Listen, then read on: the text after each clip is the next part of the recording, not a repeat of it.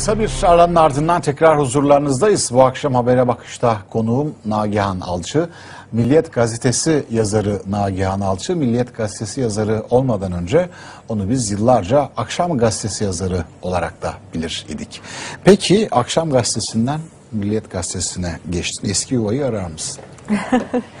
Ama yok aramıyorum. Neden? Ee, şimdi akşamla ilgili çok ciddi e, birkaç birkaç değil çok sıkıntı var. Şunu da söylemek isterim. Ee, akşamda Ağustos'ta e, işte benim yazılarıma son verdiler. Ağustos. Hatta hemen sonrasında senin yayına gelmiştim. Çok iyi Evet. hatırlıyorum. Ee, ve Bayağı bir sormuştum yeni adresi Evet, evet, evet. ser verip sır vermemiştim.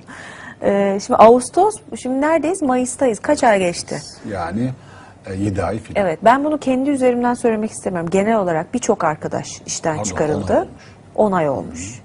Ee, Birçok arkadaş işten çıkarıldı. Benim gibi köşe yazarı olanlar da, başka kademelerdekiler de. Belki o sefer değil, daha önce hani tek bakmak lazım. Zaman zaman işten çıkarır zaten akşam. Bakın 10 ay geçmiş bizimkinin üzerinden. Ve 10 ay içinde oraya ben 10 yıl emek verdim. Çok daha fazla emek veren arkadaşlar var. Ee, normalde nedir? Bir tazminat ödenir. Şimdi o tazminatlar da e, işten çıkan arkadaşlar için çok önemlidir. Hadi ben idare ediyorum. Çünkü benim şu anda başka gelir kaynaklarım var çok şükür. Televizyondan kazanıyorum, yeni gazetemden filan. Ama başka hiçbir gelir kaynağı olmayan arkadaşlar var. Şimdi ben Kara Mehmet'e soruyorum. Ee, burada 10 yıl hadi kendi üzerinden söyleyeyim. Verdiğim emek karşı işte bilmem ne kadar tazminatım var değil mi?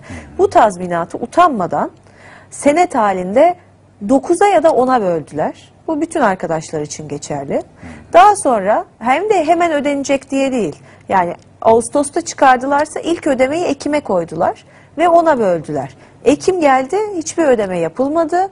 Aradan aylar geçti ve daha sonra o 9'a 10'a böldükleri ödemelerin o teker teker taksitlerini de bir ona daha böldüler.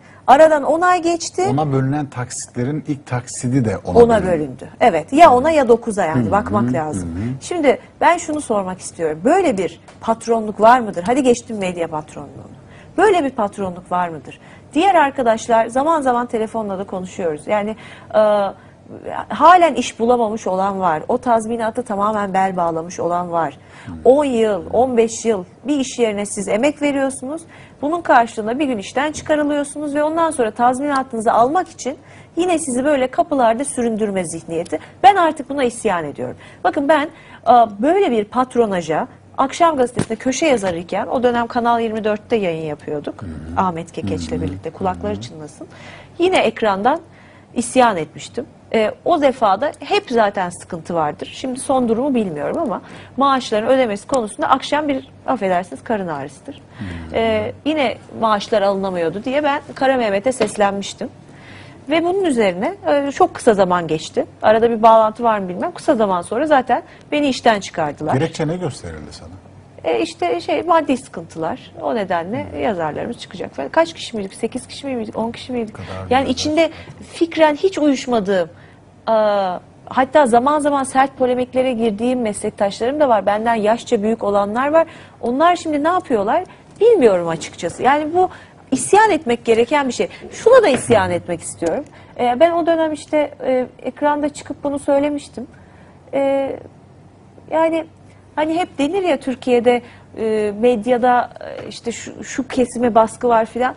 Ben hemen e, şunu söylüyorum. Benim siyasi görüşüm başka türlü olsa e, ben kendimi solcu olarak tanımlasam böyle bir çıkış yaptıktan sonra medyada çok büyük bir sahiplenişle karşılanırdım.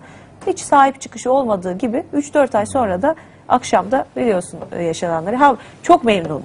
Yani e, şimdi baktığımda. Evet çünkü e, çok insanın vicdanını da zedeleyen bir şey. Ben bütün oradan çıkan arkadaşlar adına da yani birilerinin bu sürece artık sahip çıkması gerektiğini düşünüyorum. Kara Mehmet'e birilerinin belli mesajları vermesi gerektiğini düşünüyorum. Böyle bir patronaj kabul edilemez.